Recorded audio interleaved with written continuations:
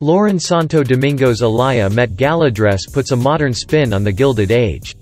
When it comes to the Met Gala, Lauren Santo Domingo is a seasoned pro. The Moda Operandi founder attended her first Met all the way back in 2002, when she was an assistant at Vogue.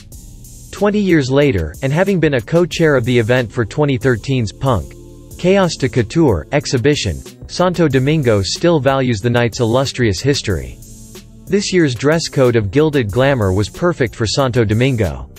It makes sense, then, that when it came to conceiving her dress, she enlisted the help of Pieter Mulier at Alaïa, whose work at the house since joining last year has offered a masterclass in taking the codes of a heritage house and updating them for the present day.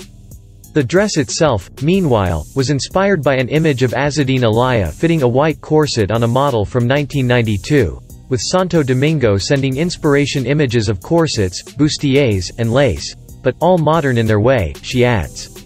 My inspirations were every Edith Wharton novel I have ever read, as well as Edith herself. Santo Domingo cites Wharton's Comedy of Manners The Custom of the Country as one of her all-time favorite novels. Featuring a sleek halter neck, a signature Alaïa corseted bodice, and a dramatic ruffled knit skirt, the dress more than fulfilled Santo Domingo's vision of a modern American woman.